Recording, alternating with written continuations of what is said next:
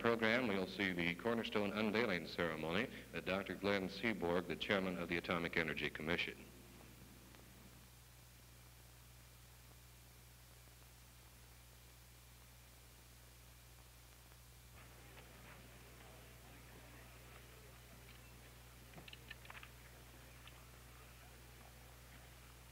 Ladies and gentlemen, the Ames Laboratory of the Atomic Energy Commission welcomes you to this cornerstone ceremony.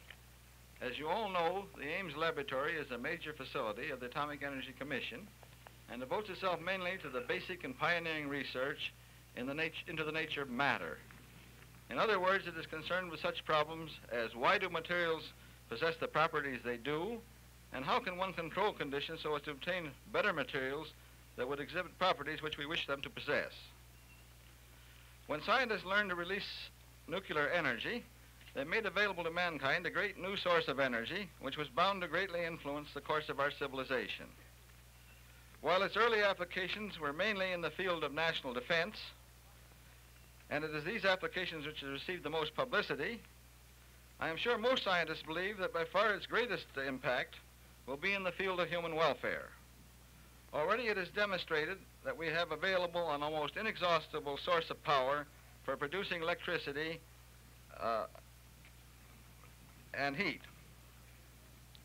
However, however, I believe in the long term, perhaps the greatest contribution which the discovery of controlled nuclear fission will make to mankind will result from the very powerful tools it has made available to the scientists. These tools have opened up vast areas for research in the fields of agriculture, astronomy, biology, medicine, engineering, and the basic sciences. Investigations in these areas were almost impossible before these new tools became available. The reactor which you will see today is a fitting example of such a tool. This reactor will be one of the most powerful research tools of this sort in the country, and it will be devoted entirely to basic research for the atomic energy in the field of materials. On this occasion, we wish to acknowledge our gratitude to the people who have made it a reality. Representatives of each of these groups are with us today. They include a member of Congress, representatives of the administration of Iowa State University, which operates the laboratory for the Commission, members of the Atomic Energy Commission, members of the State Board of Regents, representatives from Burns and Roe, the architect, uh, AMF Atomics, the reactor engineers, Maxon uh, Construction Company, the contractor, and my fellow scientists.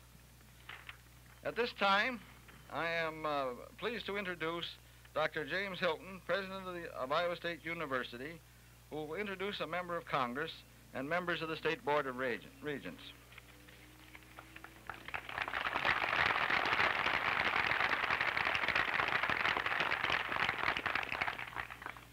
Chairman Seaborg, distinguished guests, ladies and gentlemen.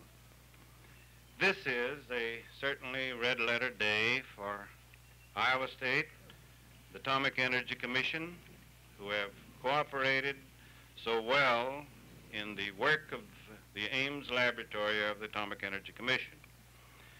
I have heard on good many occasions in more recent weeks or months that the Atomic Energy Commission controls the weather.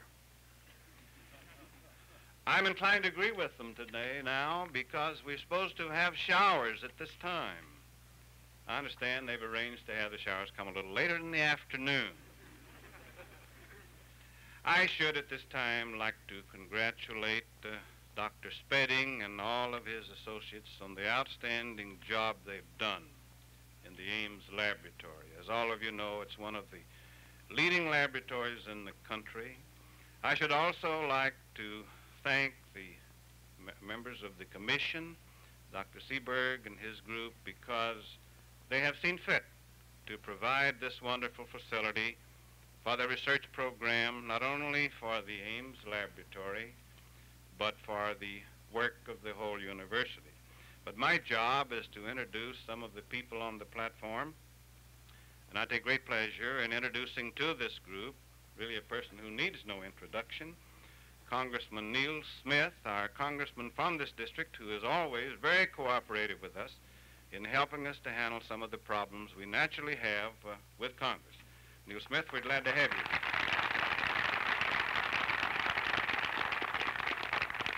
Now I should like to introduce the members of the Board of Regents, who have, of course, a lot to do in making decisions in connection with some of the program of the Ames Lab.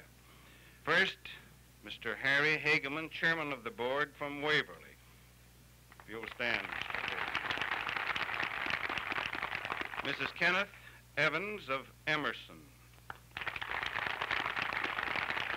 Mr. Robert Valentine from Centerville. Mr. Wilbur C. Mollison from Grinnell, an Iowa State graduate. Mr. John C. Oberhausen of Dubuque. Mr. Stanley Redeker a Boone. Thank you very much, Dr. Spedding.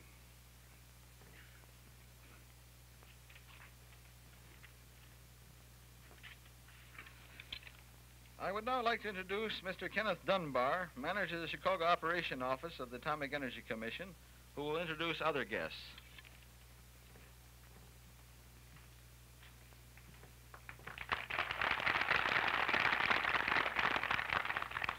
Thank you, Dr. Spedding. It's indeed a pleasure for me to uh, participate and to introduce most of the members of the commission. There will be one exception that will be introduced later. Uh, first of all, uh, I would like to introduce uh, Dr. Paul W. McDaniel, Director of the Division of Research, Washington headquarters. Dr. McDaniel. I would like next to introduce Dr. Alex R. Van Dyken, the Assistant Director for Chemistry in the Division of Research and headquarters. Dr. Donald K. Stevenson, Stevens, Assistant Director for Metallurgy and Materials in the Division of Research. Would like now to introduce uh, Mr. Howard C. Brown, Jr., Executive Assistant to the Chairman of the Commission. Mr. Dwight A. Ink, Assistant General Manager of the Commission. Mr. Daniel J. Casey, the Director of our Division of Engineering and Construction in the Chicago Operations Office. Dr. Barron, Vice President, Nuclear and Process Engineering Division, Burns and Roe Incorporated. Mr. O.A. Schulze, Vice President, uh, uh, AMF Atomics. Mr. O.L. DeWeese, Manager, Construction Operations, the Maxon Construction Company. Thank you very much.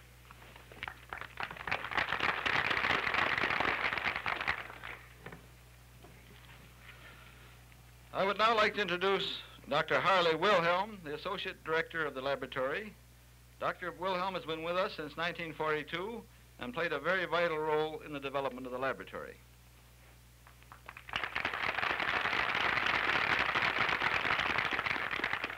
Next, I would like to introduce Dr. Ada Voigt, Chairman of the Reactor Advisory Committee, whose committee devoted much time to the detailed planning of the reactor. And finally, I'd like to introduce Dr. Willard McCorkle, Reactor Division Chief, who will be in charge of the reactor.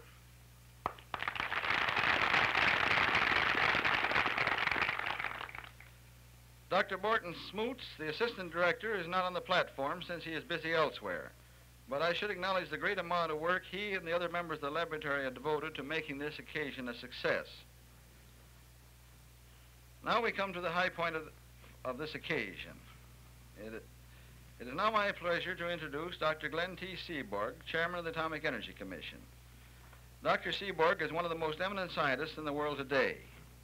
He was one of the co-discoverers of plutonium, for which he later received the Nobel Prize in 1951. Since then, he has discovered a whole series of elements which did not exist naturally in our world, which, which can be produced by nuclear reactions. He has received many honors and has distinguished himself in administration as witnessed by his being chairman of the Atomic Energy Commission. Since I will introduce him at his uh, main address in Great Hall at 4 o'clock, to which you are all invited, I will not dwell further on his accomplishments here, but just say that we are honored that he was able to be with us today and to take part in the ceremony. It is with great personal pleasure that I call upon Dr. Glenn T. Seaborg. Thank you, Frank. Dr. Frank Spedding, Dr. Wilhelm, and President Hilton, Congressman Smith, Mr. Dunbar, members of the Board of Regents of Iowa State University, and ladies and gentlemen. It's a great privilege for me in, indeed, on behalf of the Atomic Energy Commission, to be allowed to participate in the unveiling of this uh, cornerstone this afternoon. I think that uh, this uh, reactor that is being dedicated here today is representative of the new partnership between science and the universities and the government. I've had the privilege of uh, watching the growth of the Ames Laboratory since its uh, very inception in February of 1942. The Ames Laboratory uh, performed one of the most important functions during the war in the atomic bomb project in producing uranium, as you know, of the required purity and on the almost impossible time scale that was required at that time. The laboratory carried on important uh, further work during the war and then after the war was uh, continued by the Atomic Energy Commission, making it possible to carry on the basic research in the intervening years. Much important work has been carried on during those years. Perhaps one of the characteristics of the laboratory has been the ability to translate the results of basic research into practical applications. And this is perhaps symbolic of the age in which we live. We live in what many of us characterize as a scientific age, a scientific society. And this laboratory and this reactor is symbolic of that age. Perhaps as never before in the history of mankind, we are dependent upon science and the products of science, uh, not only for our defense, but for our very economic well-being.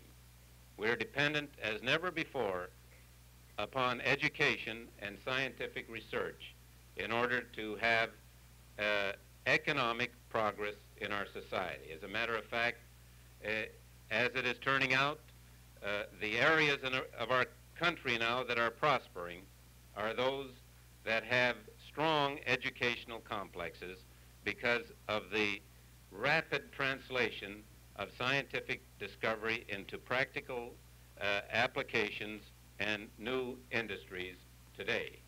Another important uh, role or concomitant with the important research, I should say, being carried on here is the uh, education of graduate students.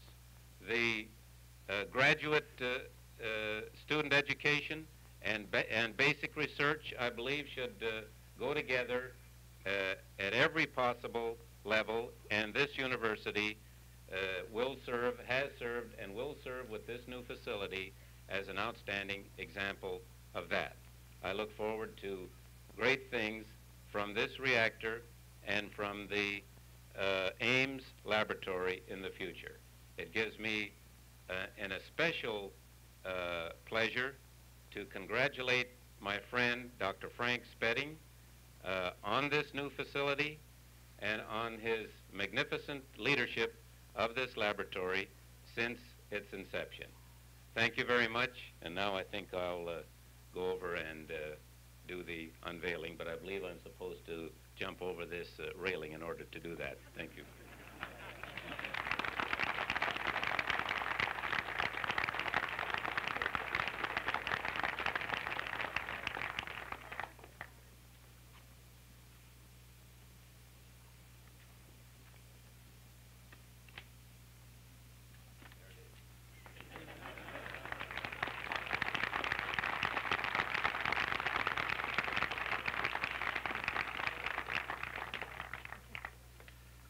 This concludes our ceremony. You are invited to tour the reactor at this time and to attend Dr. Seaborg's lecture at 4 p.m. in the Great Hall of Memorial Union. Thank you.